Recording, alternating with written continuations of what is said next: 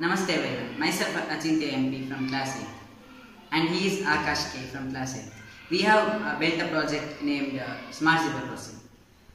The materials used to build this servo motor, form sheet, breadboard, Arduino, and two LED and jumper.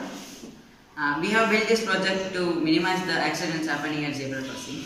Uh, this works like when the red light uh, illuminates, the barrier is descended and it stops the vehicle. And when the green light is illuminated, the barriers will be raised. Uh, this will have the uh, pedestrians cross the road easily. As you can see here, if the green light is illuminated and the barriers are raised, and the vehicles can go easily.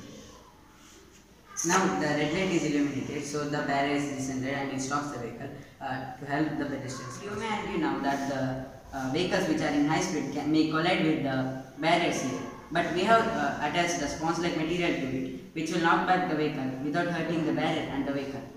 And when we implement it to the real life, we can use a system like uh, airbags or something, which can knock back the vehicle. This is a life-saving and a life-changing project which might be very helpful to the cities like Bangalore.